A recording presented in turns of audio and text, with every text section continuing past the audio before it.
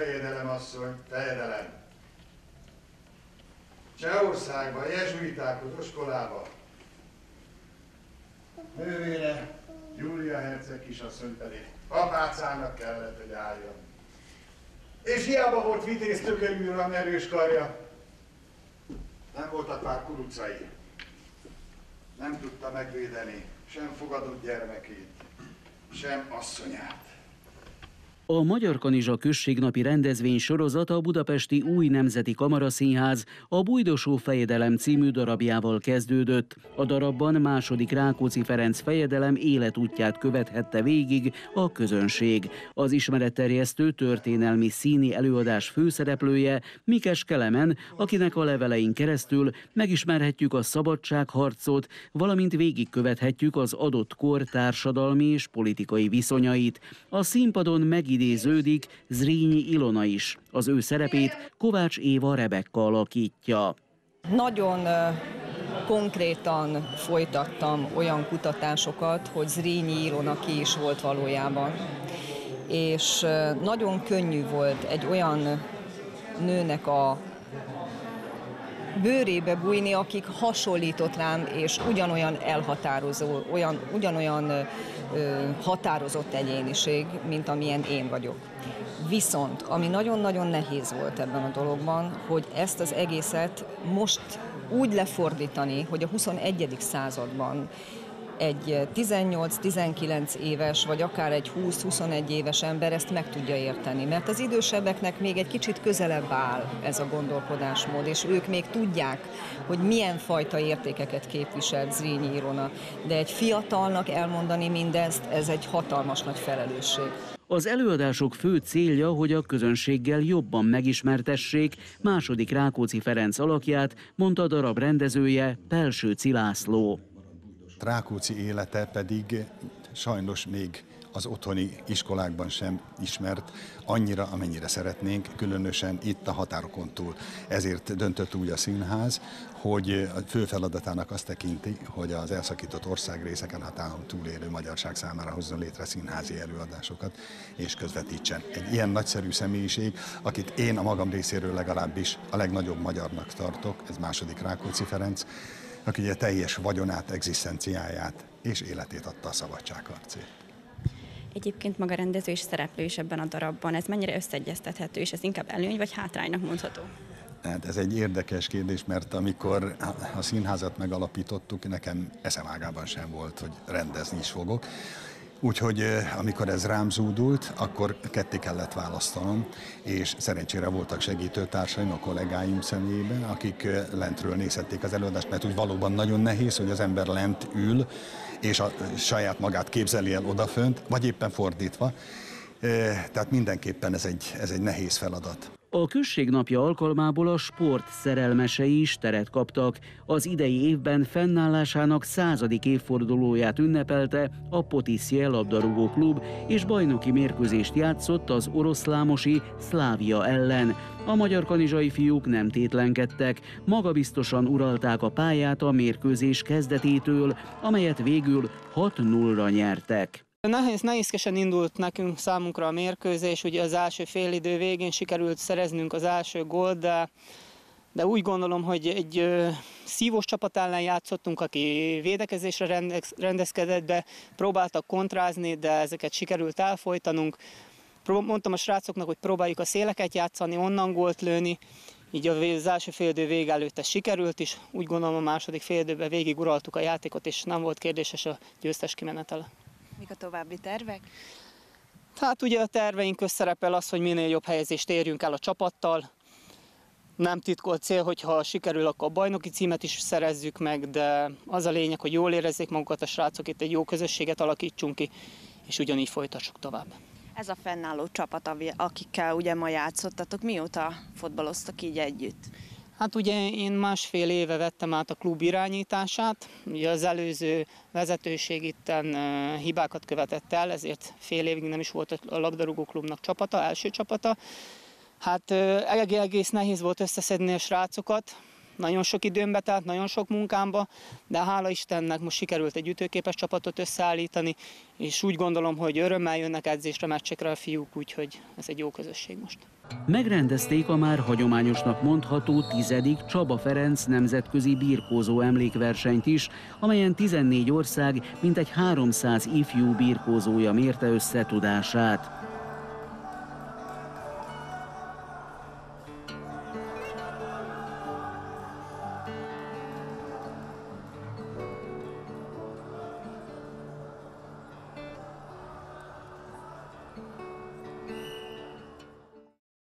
A jubiláris 10. Csaba Ferenc emlékversenyünkkel, mivel 14 ország, 307 versenyző, valamint 42 egyesületből jöttek versenyzők, ez talán környező országokban ez a legnagyobb torna. És itt a, tehát a hazai versenyek nagyon meggyűlik abban egy külföldi, egy ukrán, görög, bulgár, román, moldáv versenyzőkkel, és nagyon sokszor a mi bajnokaink érem nélkül mennek haza. Tehát ez a Csaba Ferenc emlékverseny egy, egy nagy ö, fordulópont a gyerekek versenyzésében, itt azért meg, meglátják, hogy mit érnek. Tehát, hogy mennyire, mennyit kell edzeni, és a külföldi vendégek azok nagyon jó érzik magukat, és évről évre visszajönnek. A szombati napot a Művészetek Házában a Kárpát-medencei Magyarok Zenéje koncert sorozat zárta a csak nem két órás koncertre a Mistrál együttes zenés verses összeállítással, míg Csonka Ferenc és zenekara a Kárpát-medence számos tájegységét felölelő népzenei csokorral érkezett.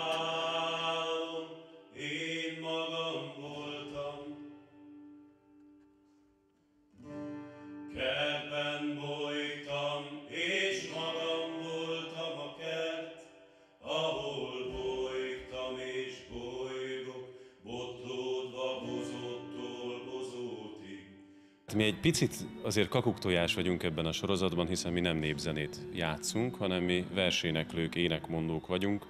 Magyar költők verseit zenésítjük meg, és azt énekeljük el, adjuk elő különböző hangszerelésben, ezt fogjuk ma is itt tenni. És hát feltette azt a kérdést is, hogy mióta vagyunk ebbe a sorozatban. Hát a legeleje óta Böszörményi Gergő meghívására részt veszünk ezekben a sorozatokban, és különböző helyekre jutottunk el már vele, illetve Gergelyel, és itt Magyar Kanizsán ebben a teremben is muzsikáltunk már. Nem is egyszer, azt hiszem ez a harmadik alkalom, hogy itt lehetünk. És hát a mai napon konkrétan egy kicsit, hogy mivel érkeztek?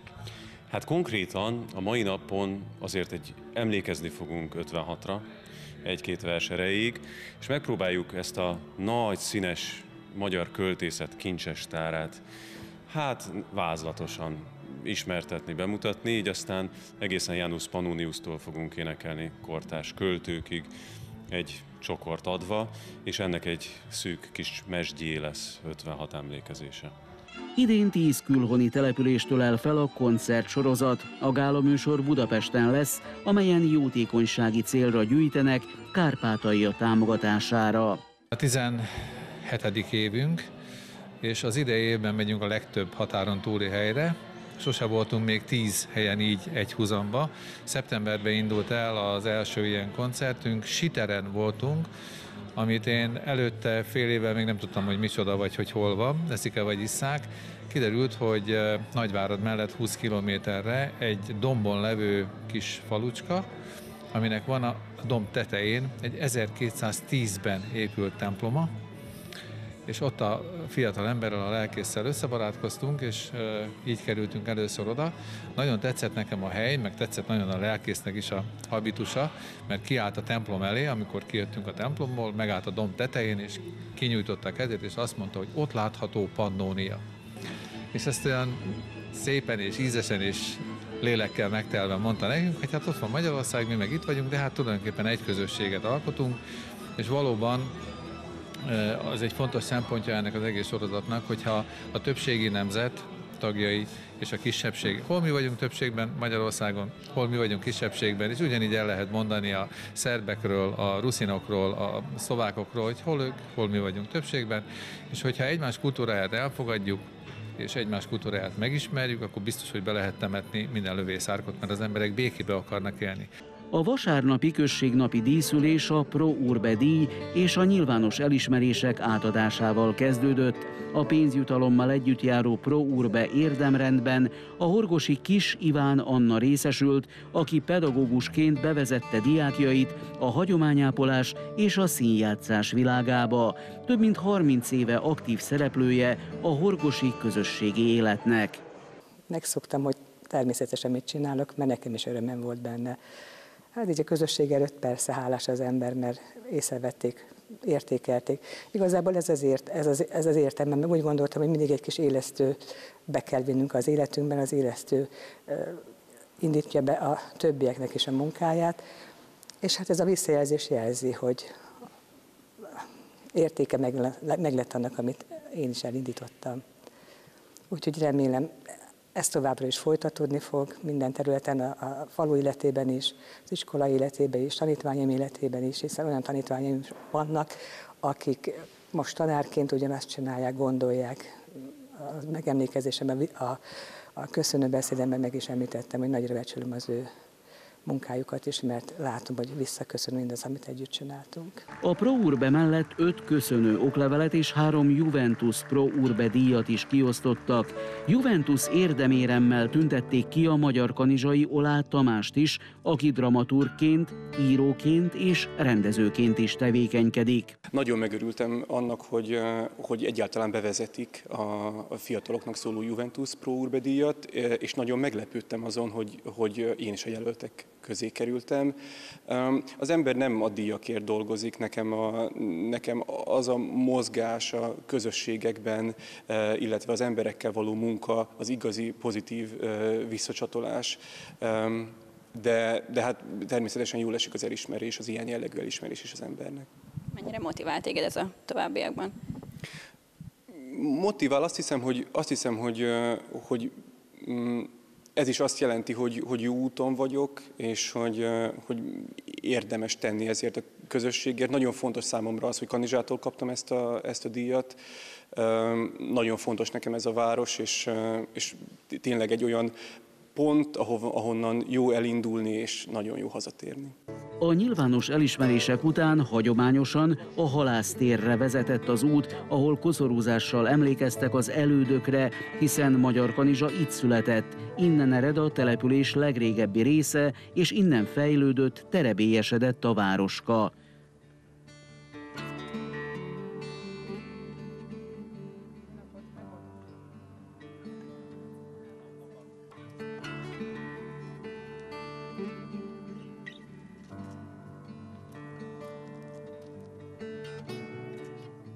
Ezen a helyen, ahol jelenleg vagyunk, ugye ez itt egy szép magaslat, ezen folyamatosan emberi civilizáció nyomaira tudunk bukkanni. Viszont a mai napon, ami számunkra fontos, a honfoglalás után a magyar törzsek is megtelepettek, közülük is megtelepettek itt ezen a területen emberek, létrehoztak itt saját kis településeket, amely jogfolytonosan itt volt egész a török időkig, és részben erre emlékezünk. Igaz, hogy a dátum, amihez ma kötjük, az annak a dátuma, hogy pont 333 évvel ezelőtt űztük ki erről a területről a törököket, és mi ezt ünnepeljük jelen pillanatban községnapjaként. A háromnapos rendezvény a helyi művészetek házában ért véget, ahol a helyi alapfokú zeneiskola tanárai és Balázs Piri Soma avatta fel az új koncert zongorát. A horgosi Balázs Piri Soma a virtuózok korcsoport győztese az elsők között játszott a hangszeren, és Beethoven műveivel kábráztotta el a helyieket.